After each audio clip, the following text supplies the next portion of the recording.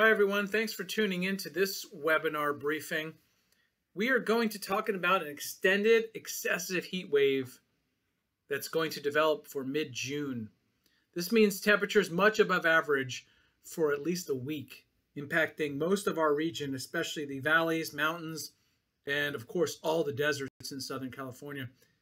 This is Alex Tardy, meteorologist with the National Weather Service. This will be high impact for inland areas.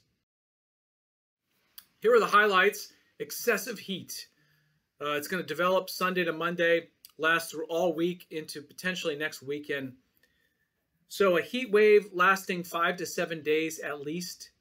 High heat risks. So this affects all population areas, especially inland areas. Near record highs for inland areas. And this is true for the mountains and deserts, possibly even some of the valleys. We're also going to see increasingly warm temperatures overnight. What kind of temperatures are we talking about? 110 to 120 in the lower deserts. Inland Empire, inland valleys, 95 to 110. We could see it around 110 up in the hottest inland Empire areas of Riverside and San Bernardino County. The high deserts, too, you could be well over 105, closing in on a 110. These are readings 10 to 20 degrees above average. Fortunately, the beach areas will see some relief with most of the beaches not getting over 80 degrees Fahrenheit. Elevated fire risk, and this is because of the hot, prolonged temperatures and the record dry fuels. We don't expect a lot of wind other than daily sea breezes, but humidity is going to be low when that wind does pick up.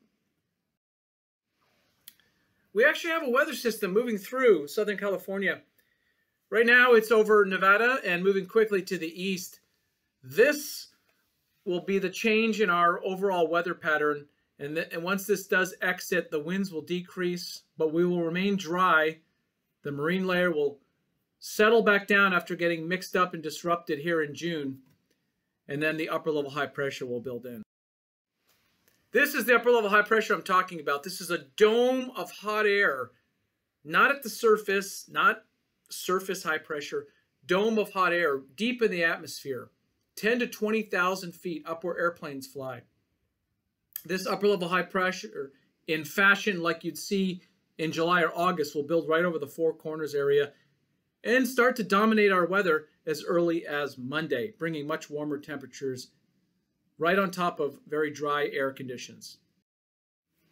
By the time we get it later in the week, Wednesday and Thursday, upper level high pressure will become anchored over the Four Corners region and spread into Southern California shown here. Classic ingredient for excessively hot temperatures, especially over our inland areas, our mountains, valleys, and deserts.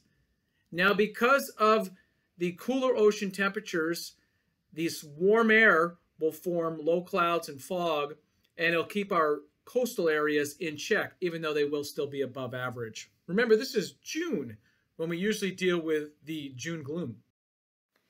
Now, it doesn't look like it'll go away quick. By next weekend, it looks like upper level high pressure will weaken, shift southward a little bit as a weak weather disturbance moves into the Pacific Northwest. But I still think, you know, this will allow for continuation of the heat wave for our mountains and deserts. Over the next week, we expect the epicenter of the hot or much above average temperatures to extend from Wyoming across Utah and the Great Basin all the way into Southern California. And even when we look further out into the middle of June, it still looks like the Southwest and really all the West could be above average in temperatures. When we look at how unusual this is, we can see focused on Southern California from Las Vegas, Phoenix, down into Southern California. The air mass with this particular upper level high pressure is not only above average, it's in the territory of being very rare for June. So when we look at the potential for extreme heat, we can see it extends from Wyoming across Utah, down through all of Arizona, Las Vegas, and of course, across Southern California, our mountains, our valleys, and all of our deserts. The potential for extreme heat next week, record breaking heat. We've had a heat wave so far this year. Here's a recap of what those temperatures were in early June. So for comparison, our deserts got up to between 108 and 111 with that recent heat wave. For this upcoming heat wave, we are talking about temperatures getting up at their peak between 115 and 120. It's been a very dry water year. Uh, some of our desert areas have seen less than an inch of rainfall. They're in territory of less than 25% of their seasonal average. So why does this matter? Um, this matters because the very dry conditions in our soil and vegetation, not only is this a threat for fire weather and expanding the ongoing drought, but it also can result in extreme temperatures when you have such a hot air mass shift right over that area, like expected next week. Heat risk, that takes a look at what the normal temperatures should be for June and compares them to the forecast temperatures. And we can see all the areas starting on Monday start to light up in the orange, so that's moderate, moderate severity. The red areas are already on Monday in high heat risk. So high risk to all populations in those red shaded areas. So temperatures will not only be hot, they'll be much above average. When we get into Tuesday, we can see it expands. The orange goes all the way to near the coast, the moderate levels. The red starts to show up in the high desert, in the Inland Empire, and the San Diego valleys. So those areas now become uh, in the potential for risking large populations that are out in the heat or that are not able to cool down from this heat. We even start to see some purple shaded, which means two or more consecutive days of the red starting to show up all in the deserts.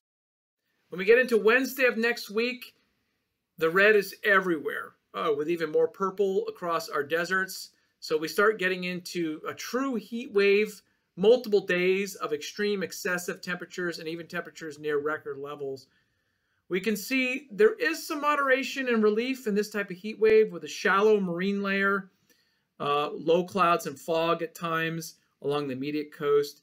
So our beaches and our immediate coastal cities, albeit above average, they are not uh, in the excessive heat category.